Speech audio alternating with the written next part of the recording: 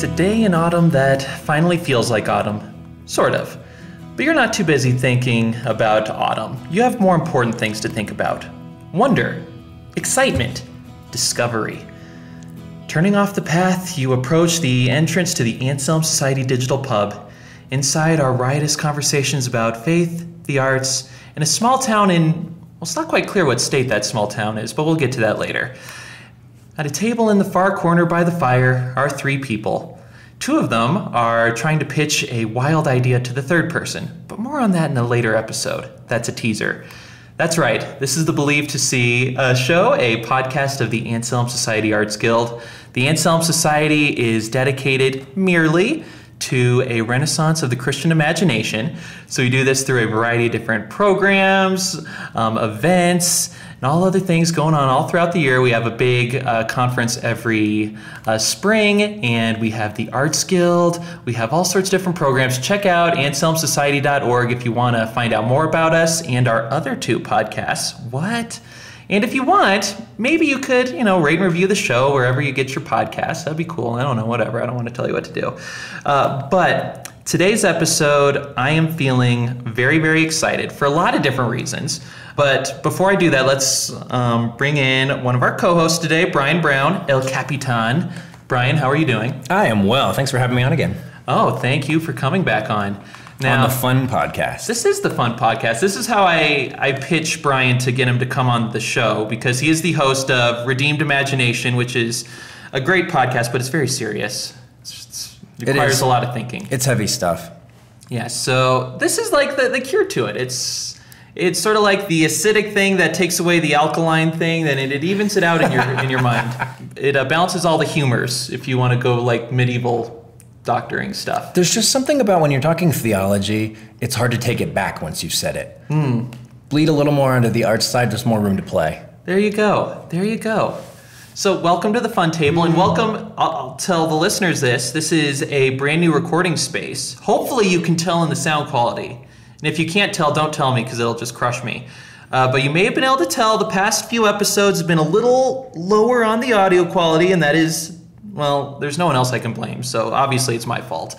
Uh, a couple reasons for that. First of all, we've been looking for a new home for a while. We were recording at Marcus's place, but Marcus stabbed me in the back, moved to Portland just to spite me. That's what I assume happened. And because he did that, uh, we haven't had a regular recording location, which makes it tricky. And also, I am terrible with tech and recording equipment, so I screwed up the past couple. But I spent so much time working on this and I'm pretty sure this is all going to work this time. And again, if it doesn't, don't tell me. Uh, so because of that, I, you know, I'll just say you're welcome. And after doing that, let's invite our other guest, the third member of the table officially. So, Jennifer England, how are you doing? I'm great. Thanks so much for having me today. Oh, thank you. And I think this will be a really fun episode. I've been meaning to do this episode for a while. So, we're going to find out all sorts of things about you. But first, let's start with the things about you involving Anselm. What, what is your role here at Anselm? I'm not actually sure I know, but I work. I didn't mean to tap into anything, but uh, I don't think I have an official title, but Se- I do secret work. weapon. Yeah, something you know behind the scenes ninja. Um, I work on the operations team, and really, I just do things that I really enjoy logistics, um, planning, thinking ahead, trying to figure out where things fit. Um, that's where my brain usually goes. I like to think about 10 steps ahead at all times. And I like to think of life as a really great big puzzle and fitting all those pieces in and trying to figure out how that all works. So that's kind of what I do with Anselm. I was drawn to it because I'm art, an artist. I'm married to an artist, and uh, we always tend to be drawn to those types of things in our lives. So that's kind of how I found Anselm. Wow, the, the fact that there are people out there who enjoy doing logistics and details and planning ahead I, I, can't tell you how, how good that makes me feel because I, I'm that poor sap who you're doing the planning ahead for who's like, oh, I can't believe this idiot didn't think of this. So, on behalf of those idiots across the world, uh, thank you. Thank you, and thank you for, for joining Anselm. We really appreciate it. And also, you're here kind of in a dual capacity because you are with Anselm, but you also work with cue the music dun dun dun dun dun dun dun dun dun dun dun dun You work for Adventures in Odyssey. That was really good music. Thank you. Never do that again. You sound like Danielle. but, so, for those of us who don't know, and I'm guessing there's probably a wide spectrum of folks listening to this uh, when it comes to Adventures in Odyssey. I'm sure some people grew up listening to it and they can quote whole episodes off the top of their head, and there's some people who have probably never even heard of it. So, please give a short, pithy definition of what Adventures in Odyssey is that appeals equally to both groups. Sure. So, Adventures in Odyssey is a radio drama. It started over 30 years ago, 1987, and it puts Christian truths in an artistic way, in a way that kind of is easy for people to understand. It teaches people through stories, and it especially is aimed towards children ages 8 to 12, but we have listeners from 0 to 93 you know about the 93 year old. We do. They contact us. We have people that will contact us and say, Hey, I'm 80 some years old. I listen to Adventures in Odyssey every night. And they'll say, Hey, like, when is Connie going to marry Mitch? And different things like that. We're like, Wow, That's really, amazing. You're really involved in this show, aren't you? Did Connie ever marry Mitch? she did not. And she will never marry Mitch, sadly. Whoa. That okay? They were going through their thing. When, I might as well give my background now. Um, so I grew up listening to Adventures in Odyssey. I'm in that camp. So between the ages of like what five and 15 all of them made through that time i have basically an encyclopedic knowledge of and i can probably finish any quotation that you start. After that i sort of fell off because you know angsty teenager and all of that. Uh, so this is very cool for me. And also uh, just another quick quick little word like uh, i think it's so cool because um, Adventures in Odyssey, it's done by Focus on the Family, with again, lots of people have opinions on. But basically, I think no matter your opinion, uh, Focus on the Family, that doesn't really matter because Adventures in Odyssey did something very cool, very unique, and presented. I think they're just a very interesting example of what it means to create Christian art in a very different medium. So, I don't know if you know this, but uh, Jennifer, I'm appointing you official Adventures in Odyssey historian. How did this all start, and why is it? Well, as someone who's worked for Odyssey for a year and a half, I know a whole lot about this. but actually, I really, I really know is because I started listening to this as a kid. Mm-hmm. I think I started listening to Odyssey within probably the first year of it coming out, mm-hmm. and I listened to it just like you all the time. And I listened to the same episodes over and over again because I grew up in the age of cassette tapes and not CDs. So, Did you ever have your cassette tapes warp in the car if you left them in over summer? Yeah, and I got so really sad. good at saving those ones that got like a little bit of tear or you know a little crinkle in oh, it. So the cassette surgeon. Okay, I was. So I would get a new album for like every birthday, every Christmas, and I'd listen to those same episodes over and over and over again. And so for me, as a child, Odyssey was very magical. It was this magical place that I went to in my imagination, and it really started my whole love of stories. So if you look back at the people who started it, many of which still work on the show today, I'm definitely one of the newest members of the team. Many of the people have been there since the beginning over 30 years ago and are still creating and still making a really imaginative product even after all this time, which I think is amazing as artists. They're producing 24 episodes a year, which is, you know, throwback to old TV series, how long those used to be. And that's a lot of content to create, to stay imaginative, to stay creative, and to keep your audience engaged. So a lot of those people kind of got in a room way back in the day because they wanted to create something for kids. They wanted to create something that was full of imagination that showed that the Christian life was a great adventure. And I think that's one of the most appealing things about Odyssey is that it doesn't approach Christianity as this dull, dry subject. It approaches it as this great adventure that we are all living together. And it shows kids that the life that we have is something grand and that God has grand plans in store for us. And so that as we kind of embrace our um, destiny in Christ, that that is this great adventure that we're going to live through the rest of our lives. And I'll, I'll sort of add the things I learned from scouring their, I think, 10th or 15th year anniversary history book. But first, I want to put Brian on the spot. Brian, I assume you listened to Adventures in Odyssey, or were, were you not raised Christian? Uh, I was. gosh, I don't know what this what percentage Christian this would make me, but I had one cassette tape. We took we took a we took a trip down to visit Focus on the Family when it was in Pomona, and I came Oh, home with one souvenir Adventures in Odyssey cassette tape, which in fairness we did listen to extensively, and occasionally we would hear the rest on the radio here and there, but we weren't faithful listeners. We got more into it as Focus branched out into other radio dramas. So my Odyssey knowledge is extremely uh, deep and not wide at all. I think expert you on get that. I can quote you the one episode Yeah. So, extensively. what, what was the one episode? Oh gosh, it was about making the right kinds of friends. There was a some one of the kids was hanging out with somebody that Whit didn't really approve of, and had this sort That of. could be a lot. I of know it was.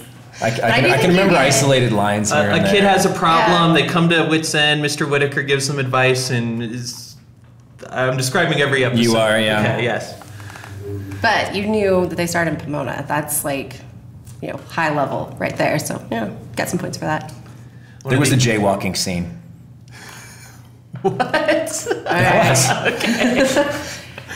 Well, Brian, true, proving he's uh, one of the OG uh, Odyssey fans. uh, but yeah, just a little bit more background again for those who may not be familiar. Adventures in Odyssey. It takes place in this sort of small midwestern town. Uh, Jennifer, I'm probably going to do a lot of quizzing to see if you can tell me exactly what state it's in. I have my theory, which I will share with you soon. But it takes place in this small midwestern town, and it takes place around this uh, soda shop called Whit's End, which is uh, founded and run by this guy, John Avery Whitaker, who's this uh, sort of slightly older guy who's very wise and sage and looks like a mixture between C.S. Lewis and Mark Twain. That was from one of the books. And there's a recurring cast of kids, other people who help out at the store. It's a large cast of characters, and it's been going on forever and ever and ever, and it is still going. We've gone through, are we on our third or fourth, Mr. Whitaker? Third. Third. Wow, that's pretty good. Yeah. Um, and Growing up, I was convinced that he was played by Dr. Dobson. By the way, So this is a nice little bit of trivia. The original Mr. Whitaker, his name was Hal Smith. He's most famous for uh, a recurring role he had in the Andy Griffith Show. He was Otis the Town Drunk. Is this is true. Wow. Yeah. Yeah, puts a whole new spin on it. He was also, I believe, in like actual radio dramas back when that was a really big thing. Oh, that's cool. A lot of our original cast was because they kind of came out of that generation. we should talk about that Oh, that is something we should talk about. Uh, radio drama history. that's our next episode, Brian. Dang it! You are skipping ahead. Good teaser. Oh, guys, I, I, you guys are keeping to break the fourth wall. I'm trying to be all smooth and polished here. you know, I'm the serious podcast host. But anyway, something I really appreciate about Adventures in Odyssey is it was it did get going in like the mid 80s, which in the world of radio dramas was definitely a downtime, especially in the United States. In in Britain, they, they sort of have this undercurrent going the whole time, but in the United States, golden age is from I think like the late 30s to the early 60s, and it's really it was sort of a dead art form at that time. But the folks at Adventures in Odyssey, uh, they actually they just worked at Focus on the Family, got this going as something that was just completely unique. So when it was going, it was basically one of a kind. Is that accurate, Jennifer? I would say so. I knew of some other radio dramas. They were Christian radio dramas at the time, but I don't think any of them quite matched the same quality as Adventures in Odyssey, which is why it's lasted over 30 years and kind of wiped away the competition from that time period. And I Crushing the I competition. know. And I think part of it is because they had a lot of artistic integrity and they created a really good product. And the people that were involved did a really good job making something that was um, not only appealing to their demographic but wide audiences and doing it such in such a quality way that people that weren't in their demographic were listening and loving it. What does that look like from your perspective at a, at a process level? I mean, there's sort of level one, which is what even goes into creating 24 episodes a year, you said. But on another level, there's when you have a moral element to it and when it's coming out of an organization that has a moral imperative, the way almost any religious organization would. What does that look like, the dynamic between creative freedom and moral telos, I guess? I think a lot of it has to do with the quality of people that are involved in the project. I've worked in a lot of different ministries, and if you work in ministry, you know that you're not always going to have the best experience with people because people are people no matter where they are. And so when I came into this team, I was very pleased to see what quality people they were. So they weren't only great artists, but they were great people. And I think because of that and their own character and who they are, their art shows that. And so as they are creating, they're creating out of their well, out of what they have built into themselves mm. and who they are. So the centric genius element matters. Yeah, I think so because the people that create they have a lot of freedom in what they do and a lot of creative freedom because they've earned that trust and because of mm-hmm. the people that they are and the kind of artists that they are. And I think that that's really unique. I think that's hard to find, both as a person creating, finding an environment where you can have that freedom to really create, but also um, from an organization that you know does have a goal in you know how they're presenting and what they're saying. And i think that they work really well together. And that's i think very rare and very unique. Well you can see how it could very easily fall into uh, a number of different traps. For instance each one of the episodes will have like a lesson. You know this one's about self-control. This one's about humility this one's about you know it's etc so it's really easy to get in a situation where it's like basically a, a, moral allegory where it gets very dry and boring like okay we'll teach this virtue and you know this virtue's good and non-virtues are bad. But wait against that. If you try to make it too morally complicated that will not be something that would be in keeping with the voice of the ministry or with the the age demographic. And i'm trying to put myself in one of the writers trying to make something that has some sort of moral message but not in a way that's boring or preachy that is interesting and you know sometimes funny sometimes suspenseful sometimes sad but not in a way that would fall askew this, this kind of tightrope you have to walk. So how do you all do that? And do you ever just think about jumping off the tightrope? well, thankfully, I don't write for the show, so I don't have to worry about that as much as the writers do. But I do get to sit in on all their writers' meetings, and it's a really fascinating process. So, I'm having not worked in a TV situation, I would probably lightly compare it to working on a TV series. There's a writer's room, they get together and they talk and they discuss stories. They also pitch ideas, and those can be torn apart or be given different direction. And so all the writers have pretty thick skin. Like they've got to be able to come in, bring their idea, and then watch it kind of get torn apart, watch it grow, or watch it just completely get tossed to the side. So I think they bring a lot of strength in the numbers of people that are working on the show together. Mm. Also, in the number of experience years. So most of the writers have been writing 20 plus years for the show. So they have a very good grasp of who their audience is, of why they're writing and what they're writing, and they're incredibly creative people. So when I read a new script from them, uh, I see new ideas all the time, and that we're on 870th episode at this point. Dang. So there's a lot of episodes to work with. Um, we just brought in a new writer apprentice, and so I'm watching kind of that process because we are very unique. There are not a lot of other areas like us, so we can't just hire someone from another radio drama like us. So when we hire someone new, we have to kind of train them to write in our genre, to write the way that we write and it's very different. So I'm kind of getting to see that a, little bit in play these last few months of just kind of seeing how they mold the scripts and how they kind of take it from idea to finished creation. And it's a really fascinating, and interesting process. And I do really think it is very similar to probably a television series would be. The writers do work on their own a lot, but then they kind of always come back together and they always critique each other's work. Interesting. So, my impression would be that in some regards, it would be really advantageous to have sort of this whole genre to yourself for so long. That's probably not as true now as it used to be. But in some regards, I'm guessing that would be very complicated, and especially in the fact that how do you get people with experience? So, like you just mentioned, the writer's apprentice, be interested to see what their background was. It surely isn't in writing Christian radio dramas. so for that, or just in terms of voice actors, all these other people, where do you find people who are experienced with this sort of thing? So for writers, we just find experienced and good writers. That's really what we're looking for. As far as actors, that's actually my realm. So I work in casting.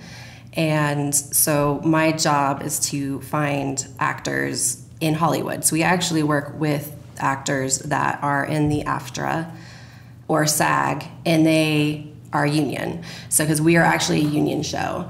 So, I work with about 15 agencies in California and I work with them to find all our new talent. So, I'm actually casting six shows right now. I've got 25 regular actors I'm hiring for this, and then 25 actors I'm casting for this. And they range anywhere from children from Honduras to Scottish people from the early 1930s to American children in the 1920s. So we have a lot of diverse shows, which can be a little difficult.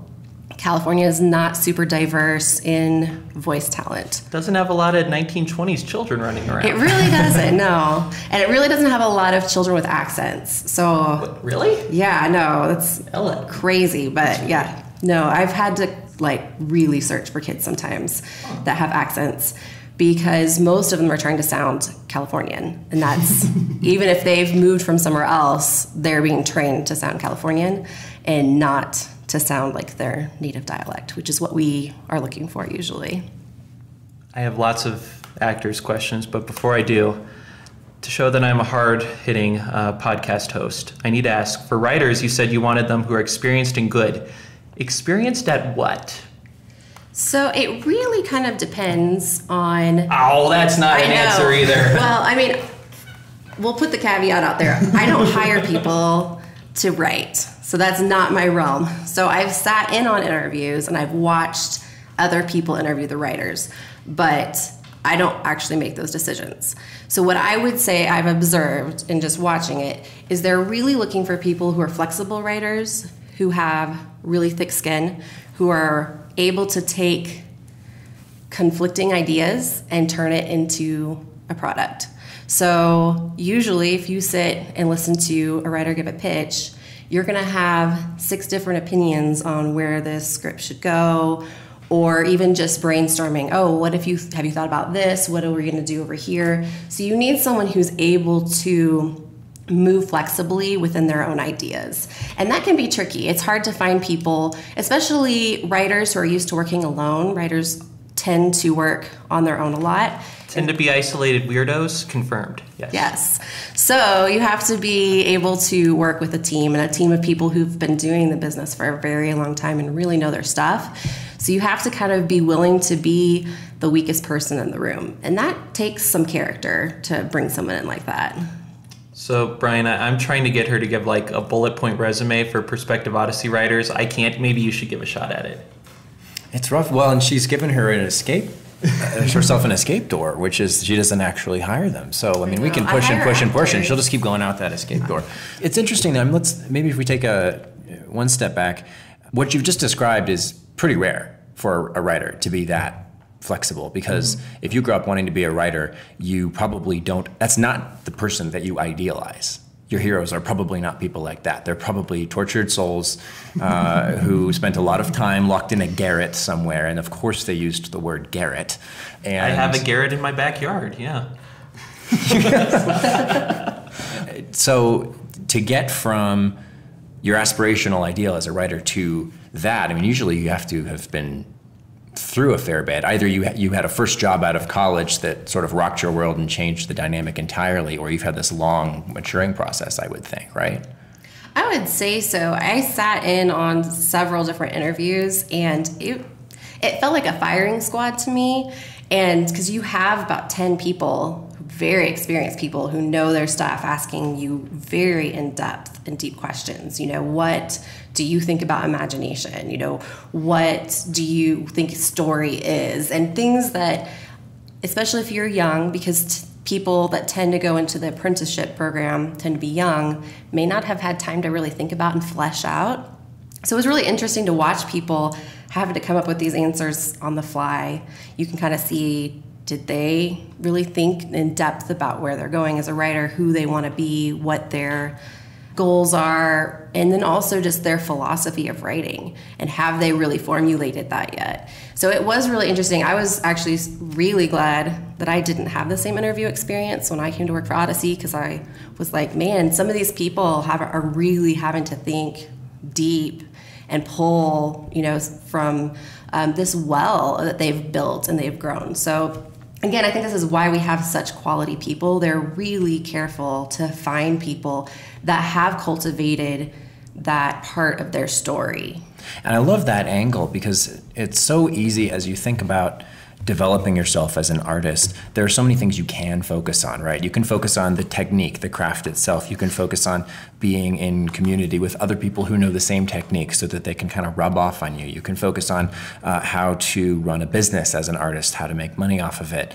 And um, maybe you're taking care of yourself spiritually. Uh, that may or may not be terribly integrated into the rest of what you do. But to think of yourself as a creator, as a whole in that way, there aren't a lot of books on that. No, That's not, not. There's, you can't take a class on that in college. You really can't. I tried pitching a book on how to become an Odyssey writer, but never really got anywhere. You're pitching it right now, and it's still not going so, anywhere. to whom it may concern. But let's also something I'm also interested here is your selection of the voice actors because from what I've seen, and I've been trying to get more into audio drama, been trying to listen to different ones, and I have noticed that you can really, really tell if a voice actor is good or if it's somebody's buddy who they brought in. And getting high quality voice talent is very, very hard and very, very necessary. And I can guess it's very hard to do working within the constraints of, say, a ministry budget. So, how do you pull off this alchemy? So, I was an actress and I've done a little, I mean, a little bit of voice acting with Odyssey. It is so hard and it's so different than any other types of acting. And I'm so impressed with really good voice actors because it's almost an impossible task because they have to explain everything with their voice. Mm-hmm. Everything that's going on, all the action, all the extra sounds, everything that they do comes only from their voice. And that can be really hard for actors who are used to an audience, who are used to costumes, other mm-hmm. people on the stage with them. So they're definitely a rare breed. But part of the reason we became a union show, so we became a union show probably about 15 years ago, was to help find that quality because we mm-hmm. re- it's really important that Odyssey stays at a high quality. And so we work with agencies in California. We work with actors who are very established actors, and that really brings that quality and that um, extra little bit to kind of what we do and to voice acting. It is a totally different thing. We're going to have Mark Hamill on a follow up show, right? Oh, absolutely. Uh, special announcement. Um, but I guess a related question to that is when you're looking for voice actors, are you looking? Are these mainly people who try to get into like on-screen acting, or did they sort of go down this voice acting track early on? How do you how do you pick these people out? Okay, so it's a really wide variety. It can be both. We have people. So Greg Jbara, who is one of our main actors, he is an actor on Blue Bloods. So he is often in New York recording, and we're working around his recording schedule. Mm-hmm. We don't have a lot of actors that are currently on TV shows, mostly because their schedules are really hard to work around. And because we record in California, we have to really be able to work well with their schedule. But we do make an exception for Greg. Now, how we get these actors, and this is something I was doing all day today, is we create sides based off our script I will send them to each agency that we work with based on what kind of actors they have. Some of them represent a wide range, some only children, some only adults. So I'll send them what they represent, and then they're gonna send me back a voice sample of their actors reading the script. Now, if we have a 20 year old American girl or boy, we'll probably get 100 submissions. if we have, like right now, a Scottish six year old, I'm hoping we get five or six submissions. So it can be a really wide range of people that we get to choose from. But normally we get a really good selection from our agents. Then what happens is we start to listen through, and usually our executive producer will listen through every single one because that can be about 800 plus audition submissions that have to be listened to. And he will narrow it down. And once he narrows it down, then other members of the team will come in and listen to those selections, and then we'll start narrowing it down even more. We eventually get to about three to five candidates, and we'll do a phone audition. So at that point, I'll usually rewrite sides and send those out to the agencies. We do this on the phone, which is unusual. Voiceover doesn't normally need to do that, but most voiceover people live in California. Since we live in Colorado, we call them and we do it over the phone. The quality can be so so, but it gives us an idea of their mm-hmm. acting ability. We've already got their voice, so we kind of know what their voice is like. Now we're trying to checking their acting ability. And this is something that is really tricky once we get into selecting actors because Odyssey is very, very different than most voiceover. You don't say. Yes. So a lot of theater people do really well with Odyssey uh, because they're used to using their voice in different ways. Mm-hmm. But it really kind of just depends on the actor and how they're able to take direction. So in phone auditions, the main thing that we're looking for is do they take direction well? Can they change? Is this the uh-huh. only type of character that they're going to be able to do? Or are they able to go a completely different direction? A lot of times, our director will ask them to do something that I know we're not going to actually do in recording, but it's just to see their flexibility as an actor. Can they yeah. play more than one just one note? Because most voiceover, they're just going in, they're reading a line, and then they're leaving in Odyssey, we record family style. So, family style means all of the actors are in the same room together interacting. So, again, it's very similar to theater and how mm-hmm. we actually produce what we're doing. Let's maybe transition a little bit now to I've been thinking about the different benefits of having a radio drama. So uh, I'm just sort of thinking here, like, what if instead of a radio drama, they decided to do like a an Adventures in Odyssey cartoon, which they had Adventures in Odyssey cartoons. I don't think they're still going. But what are the benefits of doing a radio drama as opposed to a television show or something like that? That really the benefits of the medium. I think as a parent, so I've got three kids, and two of them are in that demographic. Mm-hmm. And so, something that I really like about Odyssey and things similar is that it uses their imagination and their mind in a different way. Mm-hmm. So, they're not as passive as they would be maybe sitting in front of a video game or a television show. They're interacting more with their imagination, they're picturing things in their head. Sure. And so they're really interacting more with the story instead of just kind of sitting back and passively letting the story happen to them. And I would say I experienced that a lot as a child. Mm. Odyssey was a really big part of cultivating my own imagination mm. and my own love of stories. And I think just the difference in medium makes you work harder. You know, you're not getting it from all the senses. You're only getting it from one sense. So you have to create the rest of it in your mind. You know, I'll sort of chime in with a couple other. I was thinking of just my experience listening to it as a kid. First of all, like you said, absolutely, you're you're more actively engaged with the art when it's just audio because you have to imagine everything. You have to imagine what each character looks like, where the scene is, what the action is. It's a lot of work in a good sense of it. And second, it's very practical, but you can do things in an audio drama that you could never do if you were like filming it. I, I, was listening to a really interesting podcast about the history of the golden age of radio.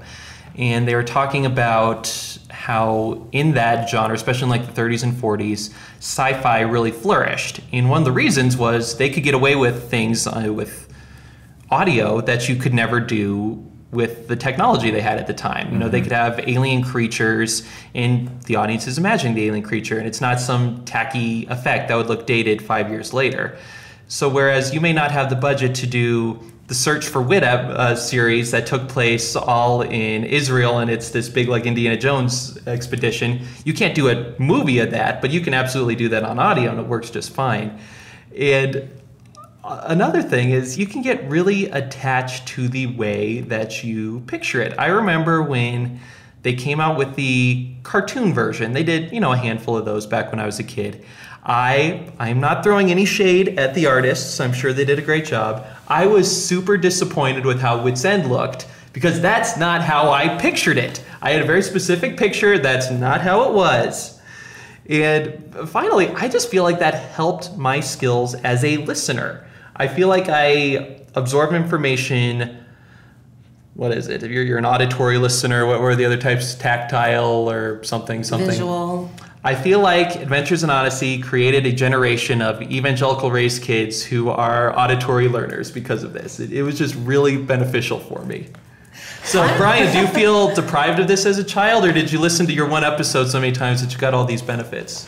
Well, it's funny. I think part of the reason we didn't get into it was because before we realized it was a thing, we'd gotten into audiobooks and radio dramas and other contexts. I mean, we you have to understand I grew up in a three bedroom house. It was oh gosh, maybe 1300 square feet and there were at least four bookshelves in every single room in the house. Uh, except the bathrooms, and even those had bookshelves in them after a while. and there were entire rooms of floor to ceiling bookshelves that were entirely radio dramas and books on tape.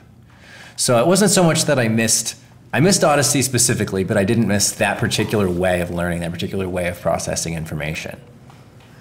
All right, and that's actually Brian. Uh, this is just the synergy between redeemed imagination and Believe to See. That was a great segue into something I wanted to talk to Jennifer about. Is Focus on Family did branch out into other things beyond Adventures in Odyssey. There was a Focus Radio Theater, which sort of went to do adaptations of famous books, other things like that. How was that different from what you saw of the, how the process worked in terms of adapting? Like they did a really great adaptation of the Chronicles of Narnia. Yeah, and that is excellent. I've listened to that with my kids several times, and I just absolutely adore it every time. But radio theater is actually created by the same team. So, the same department that I'm in, we actually do radio theater and Odyssey. Mm-hmm. And radio theater isn't as regular as Odyssey is right now but it's a lot of the same process the same writers same sound engineers same directors. The main difference is when we do radio theater we actually record it in england. So we're bringing in english actors instead of american actors. And that's just slightly different in how we do it. So i don't have to cast those shows. There's actually a casting director in england that mm-hmm. will do all of the casting for us. And it's just slightly different. But for the main thing is that the quality i think is just as good as Odyssey again because we've using a lot of the same creative team, the same creative people, and are still looking for really high quality actors. And I think both of those things put together is kind of what makes such a great product. So, a big thanks to Jennifer England. Really appreciate her visiting the show. And if you all have not listened to Adventures in Odyssey, go ahead and check it out. You don't have a good excuse, so just do it. Uh, so now uh, Jennifer had to leave, but there was another segment that I wanted to do called well, I'm calling it the Odyssey Lightning Round. And for this, I needed an Odyssey super fan, so I thought, hey, let's let's invite my brother. Uh, you all may recall me talking, uh, well, complaining about my lazy artist brother who is too busy uh, caring for his triplets to do all the art projects that I assign him. Well, he's here in the car with me now. And one month old baby, too. Uh, okay, so he has triplets and a one month old baby. So the, the point is, uh, I brought him on the show to discuss what I'm calling Adventures in Odyssey Lightning Round. So, Brian Melma, say hello to everybody. Hello. Do you want to defend yourself other than saying you have to care for your four children? I think that's a pretty good argument right there. Yeah, well, leave it to the audience. uh, so, what I, what I want to do now is have a series of lightning round questions that we that we will both answer. Uh, question number one is something I've been wondering for a long time. Wanted to get your take. What state do you think the town of Odyssey is in? I have always assumed it's in Ohio.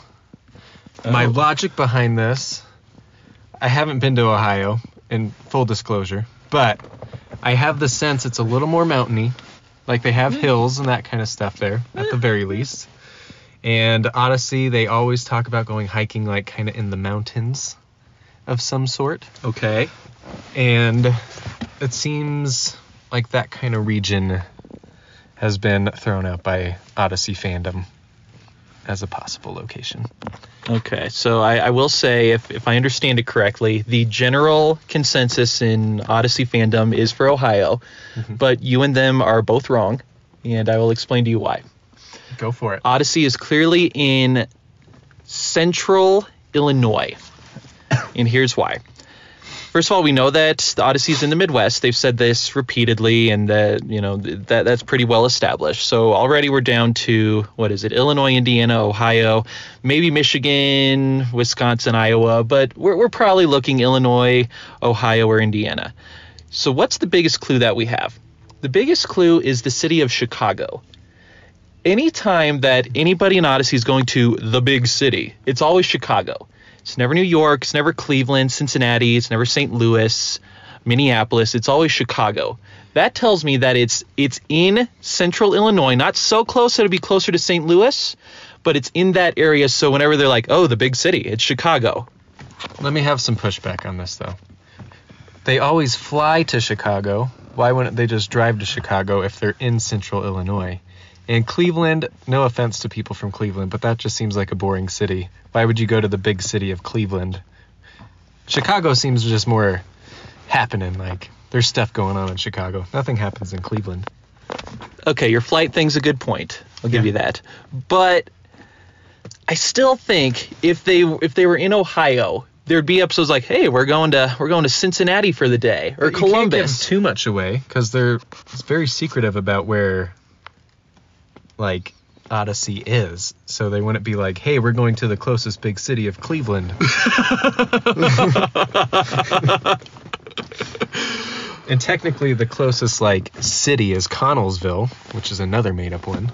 So they drive to Connellsville if they want to go to the city, as it were. But the big city is Chicago, which I would argue, like the three main cities in America is like New York, Chicago, LA. That's what you think of as the big cities. but And Chicago is the closest city to Ohio. not really though, because Ohio is basically midway between Chicago and New York.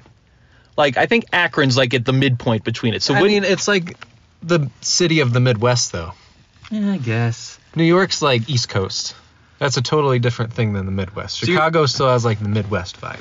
So you're saying even even if it's geographically equidistant between New York Yeah. and Chicago, it's, it's culturally more Yes. Chicago. I guess that makes sense. Agree to disagree on lightning round question number I think one. I won that argument. No. but so question number two. This one's a little bit more open ended. If you could do any imagination station adventure, what would you do? Oh, this one's tough. So let, let's start off with a question I had when I was trying to answer this. The imagination station, do you have to go back in history or can you go into like a book? Because we can do that. It's you like, can, you can go into like other things because there's that episode with um I forget who it's with, but they go into the Zapazoids video game. oh, that's a good one. That's with Dwayne and Jared. Dwayne and Jared, yep.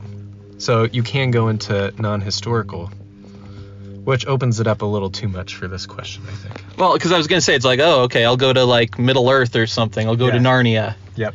I'll go hang out at the Jedi Temple in Coruscant. Yeah. No, actually at Naboo. But anyway. Um but I guess for this, we're, we're constraining ourselves to like history. are these like ones that they've had on the show? Not necessarily. Or I can pick anything. Anything. anything. Let your imagination run wild. Place of wonder, excitement, and imagination. It's Very Mr. Whittaker thing to say. Thank you. Um, let's see here. I think.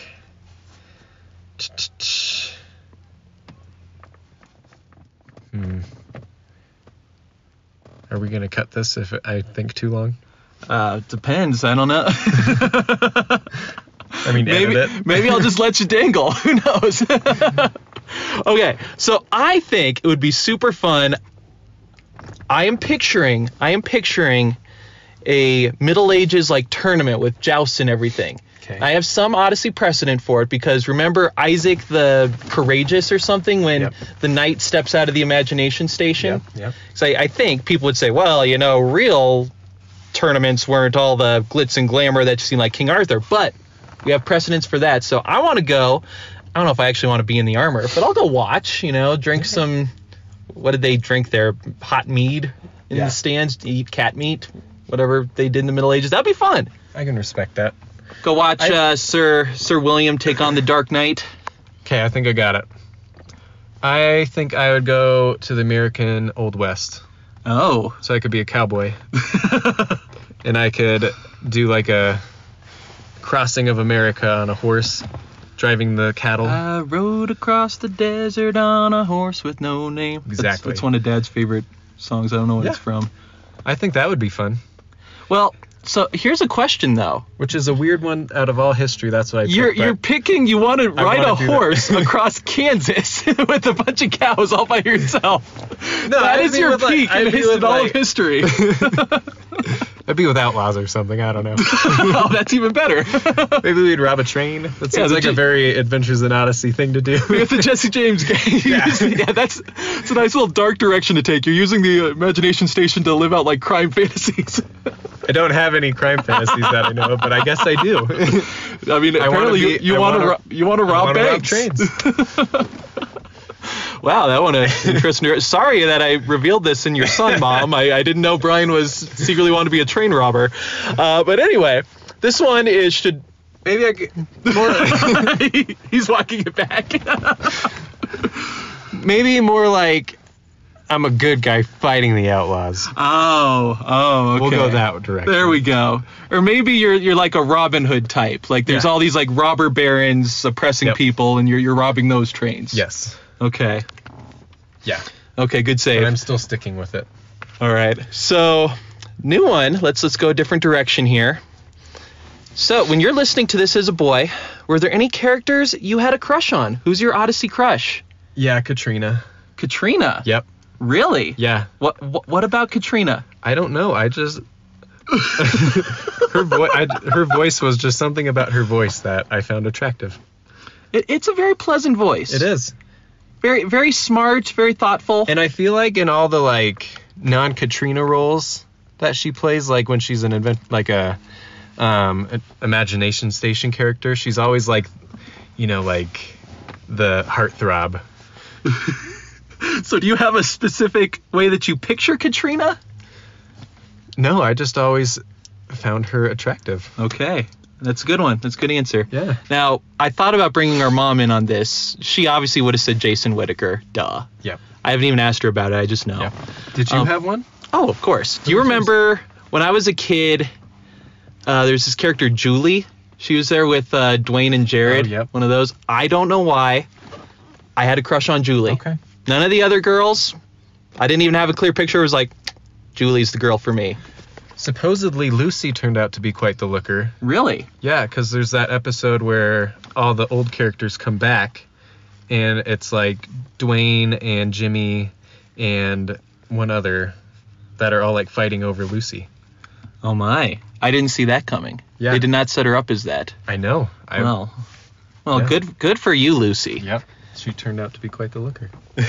Okay, so fi- final question of the lightning round. Let's say they're they're making an Adventures in Odyssey movie. Yep. It becomes a valuable IP, and Hollywood just gobbles it up.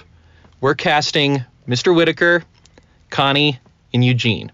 We could cast like other kids too. I, I don't know who the kids are. Um, Stranger Things kids, whatever. 'Kay. So But just those three main ones. right? just those three main ones. You can throw in other ones if you want to overachieve. okay. Let's let's start. We'll go one at a time. Who do you have as Mr. Whittaker? Okay. And I can choose from like any time of acting history. I guess I kind of uh, mine would all work in present day. Okay, because But if you want, if you want to, if you want to cheat, go he's ahead. dead. Well, that would be difficult. But old Andy Griffith, Oh, that's a good one. when he starts to get plump, Yeah, so like Matlock, Andy Griffith. yes, like that's Mr. Whittaker to me.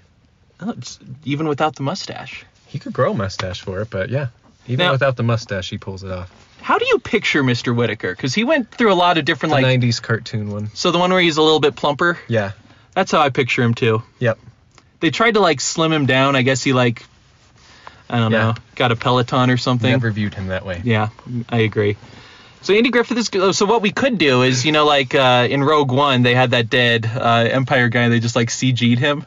Yeah. Maybe we could get uh, the CG Andy Griffith. I like the sound of that. Okay, so Which I think ties well too, because the drunk in the Andy Griffith show was Mr. Whittaker. there you go. That that is a real bit of It trivia all there. comes together. So my choice, this was inspired by very recent events. I'm going with America's favorite man, Tom Hanks. I can see that. I was skeptical of if he could pull off Mr. Rogers. I haven't seen the movie, but apparently it's very good. So I think if he can do that, he can be Mr. Whittaker. Mr. Whittaker, Tom Hanks, both like, oh, I trust him. I agree with that. I could also see Tom Hanks as like a Jack Allen too, though. Oh, that's a good one. Yeah, I might want to save him for. T- so maybe we could have CGI uh, ghost of Andy Griffith, and uh, then Yeah. Jack Allen could be Tom Hanks. Okay, who's your who's your Connie? Okay, I have to give credit to your wife for this one Oh, because um, I was thinking about this one, and Danielle brought up Amy Adams, mm-hmm. and I think a young Amy Adams, like beginning of her career. Oh, so like when she she was on like the first season of The Office, Amy Adams. Yes. Okay, Yes, I think she would make a great Connie, that's a good one. She has that sort of energy. and she ha- she can have the bubbly yeah. part of it too, cause like Enchanted, she Yeah. can like play that kind of role too. that classic like Disney princess thing. She can also be a little bit more normal. Yep. So I think, and she has a good look for it too. Yeah, the redhead. Do you picture Connie as a redhead? Yeah. Yep. Okay, so mine, I was trying to put two things together in my head. One, Connie is 16 years old. Two, she's been 16 since the mid 80s. Yep. So I'm trying to think who's somebody who looks perpetually 16. And one name came. I, I think this is the only one it could possibly be Emma Stone. That I can see too. Because if you look at Emma Stone, I Wikipedia this, she's like 31 or something, but she has this face, you know, with her eyes. I don't know how it works, but she looks just perpetually young. Yep. Like I can't believe she's in her 30s. So I would say Emma Stone would make a really good Connie because, like, how old is she? Eh, I don't know. Connie. I might change my mind to that. I think Oh, you might have you. me a yeah. Thank you. I think Emma Stone would make a And good one. Plus, I think she has the right the right energy too. Yep. Yeah, You know? I agree with you. A- young Amy Adams would still work too, but Yes. And Emma Stone doesn't have the effervescence of Amy Adams, but I think she could have a little bit of Connie's like edge. yes, Because Connie does have an edge. she does. That's a good one. Okay. Well, thank you. Yep. So, final one, Eugene. All right, this one. Yeah, I, this one I had a lot of trouble with thinking of somebody. I actually have two I feel really psyched about. I, could, Okay. I could loan you You'll- one, but I want I you am- to. I want to. I, I want to hear who you came up with. I am convinced you're gonna convince me out of mine and into yours. okay. Um, but the only person I could really think of that like fits like my like visual picture of Eugene and also have like that like ability to have the nerdy smartness is and correct me if I get his name wrong. There are a lot of excuses for this already. But Jim Parsons, who plays Sheldon on Big Bang Theory, oh. because he's ah, tall and skinny. He's not the only, terrible. The only thing about him, he kind like on Big Bang Theory, and I think just in general, he seems a little too like uppity about his smarts. Well, I was just gonna say. Eugene's not as much like in the beginning he is, but not like Eugene proper. Yes. Not so. Not quite so like um, domineering with his intelligence. Yes. So- he doesn't have that lovable aspect to him, but I'm like I can't. Yeah, So I will say I have never seen Jim Parsons in any role other than Sheldon. I know, and that's where So I, that that's where I struggle. I know that's why I'm like I don't know if I can get my head around him too much with that, but yeah, I'm open to your. Okay. So I'll give my, my second choice. I, I was going back and forth. This is my second choice, and I'll give my first choice. Second choice, Bill Hader.